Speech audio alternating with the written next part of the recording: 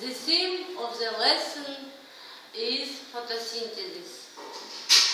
All organis- organisms are classified as autotrophs or heterozygous. Autotrophous synthesize food on their own. Heterozygous depend on other organisms for their food. The next, uh, photosynthesis. Photosynthesis uh, occurs in three stages. Uh, tapping energy from the sunlight. Second, uh, using the energy to make ATP and to form uh, compound called NADPH.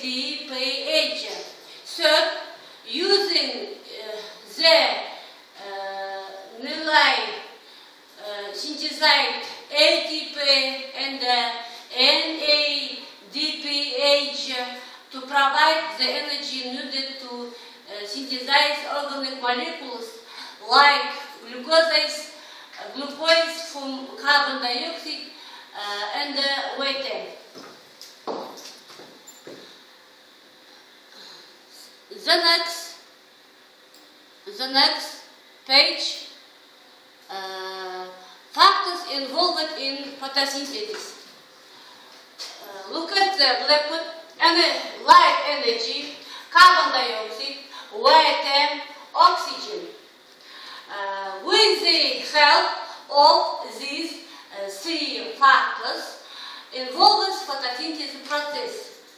As the, as the result of the oxygen will, will provide. Uh,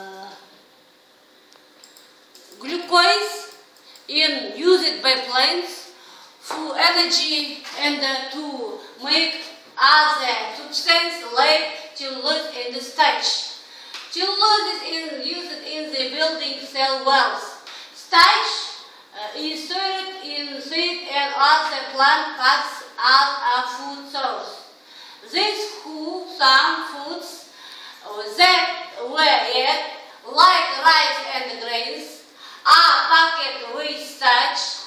The plant of obtains other nutrients essential for life from the soil like water, magnesium, potassium, calcium, sulfur, and uh, phosphorus.